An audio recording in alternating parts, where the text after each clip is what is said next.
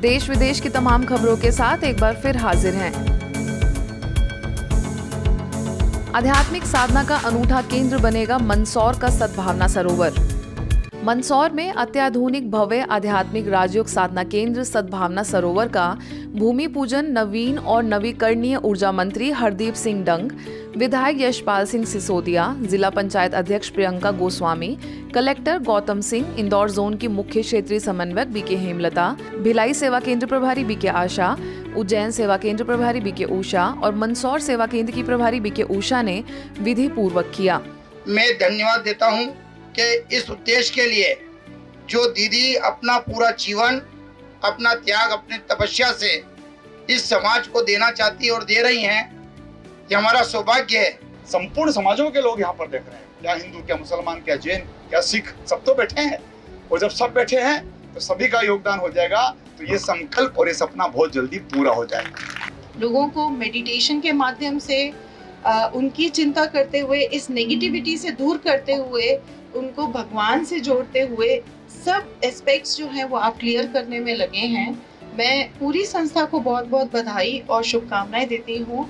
इस मौके पर आयोजित कार्यक्रम में सभी अतिथियों ने अपने अपने विचार रखे। मुख्य वक्ताओं ने दिवंगत बी के समिता के साकार हो रहे सपने को याद किया क्योंकि यह सद्भावना सरोवर उन्हीं के संकल्पों और तपस्या का परिणाम था। और ये कार्य मैं समझती हूँ बहुत जल्दी संपन्न होगा और पूरे ज़िले की बहुत अच्छी सेवा होगी। ऐसी मेरी शुभकामना है।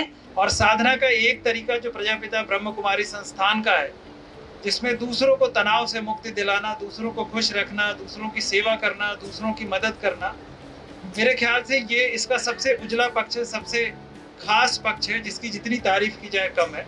इस जगह को चिन्हित किया गया है और एक शांति का टापू बनाने का एक जो प्रयास है, ये बहुत ही प्रशंसनीय है और इसमें पूरी संस्थान को मेरी तरफ़ से बहुत बहुत शुभकामनाएँ। समारोह में सभी का मानना था कि सद्भावना सरोवर आध्यात्मिक सेवा केंद्र मंदसौर वासियों की उन्नति के लिए सहयोगी साबित होगा। इस दौरान कलश यात्रा भी निकाली गई, जिसमें माताओं, बहनों ने उमंग उत्साह से हिस्सा लिया।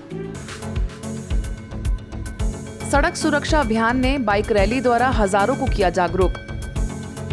यदि हम लोगों को यातायात नियमों के प्रति जागरूक करते हैं और उनकी ज़िंदगी को बचाते हैं तो यही हमारे मानव जीवन की सार्थकता है। ये बात जिला के पुलिस अधीक्षक अमित तुकाराम कामले ने ब्रह्मा कुमारी द्वारा आयोजित सड़क सुरक्षा अभियान के समापन अवसर पर कही। सेवा केंद्र प्रभारी बीके विद्या समेत अनेक सदस्यों ने अपने अपने विचार रखे। अगर हम बार बार आपको ये कहते हैं कि आप नशा ना करें, इसका मतलब आपको जीवन से प्यार नहीं है। नियमों को लागू वही व्यक्ति करता है जिसको अपने जीवन से प्यार है। उस परम पिता परमात्मा के साथ हम कनेक्शन जोड़ते हैं। और कनेक्शन जब जोड़ लेते हैं तो हमारे अंदर धैर्यता का गुण नम्रता का गुण, सहनशीलता का गुण, हर्षित मुक्ता का गुण, ये सारे गुण हमारे जीवन में आ जाते हैं। इस अभियान के अंतर्गत संस्था से जुड़े 75 मोटरसाइकिल सवार सदस्यों के द्वारा 200 किलोमीटर की यात्रा की गई और दस हज़ार लोगों को नियमों के बारे में जानकारी देते हुए पर्चे भी बांटे गए। अंत में सभी को प्रमाण पत्र देकर सम्मानित किया गया।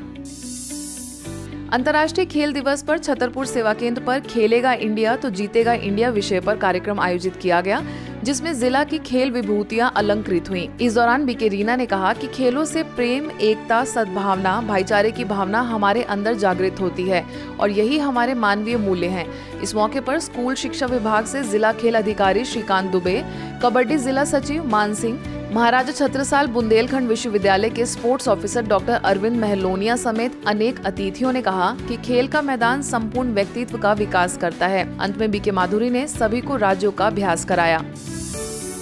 गुजरात राज्य मानवाधिकार आयोग में समस्त अधिकारियों के लिए गांधीनगर सेक्टर 28 सेवा केंद्र द्वारा तीन दिवसीय कार्यक्रम आयोजित किया गया। अमृत महोत्सव के अंतर्गत आयोजित इस कार्यक्रम में बीके कृपल ने स्लाइड शो द्वारा संस्था का परिचय दिया और तनाव मुक्त जीवन जीने की कला पर विशेष प्रकाश डाला। वही सेवा केंद्र प्रभारी बीके कैलाश ने कहा की सभी अपने जीवन का मूल्य समझकर अपने कर्मो को श्रेष्ठ बनाए। इस दौरान आयोग के सदस्य M H Shah, B K Mahendra समेत कई अधिकारियों ने कार्यक्रम की सराहना की।